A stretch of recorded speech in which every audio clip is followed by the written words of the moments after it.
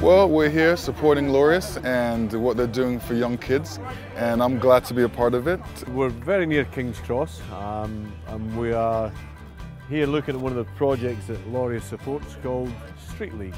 So here in London we're running our Street League Academy which basically gets young people ready for entering the workplace. But it's more than that, it's about getting them confident, equipping them with the skills, the abilities necessary to turn up to an interview to get through that interview, to do really well and hopefully get offered work.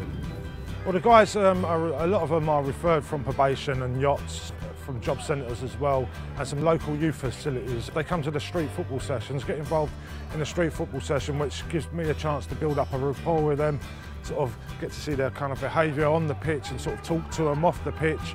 Um, every one of the guys and girls we work with has a different reason for being here. So, you know, some of them have never worked in their lives, some of them have had quite a, a full employment history but have, for whatever reason, fallen out of it. Some of them have come from much more complex backgrounds. So everyone's different and we spend a lot of time getting to know them and know what their barriers have been and, and maybe still are and helping them to kind of figure out how to overcome them.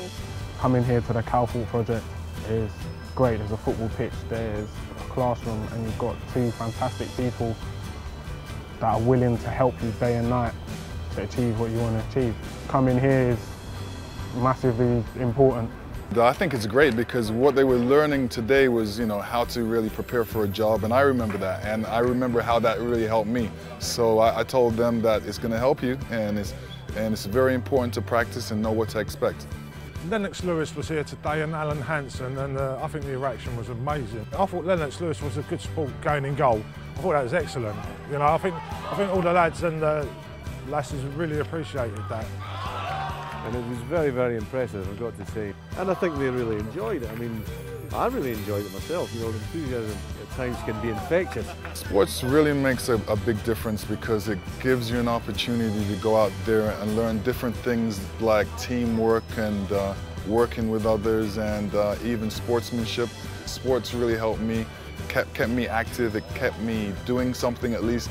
And certainly the biggest thing for these kids is it's giving them a chance, it's giving them an opportunity that they might not have had. And I think that you sort of get the feeling that these kids are going to grasp the opportunity that, that Laureus are giving them, which is great.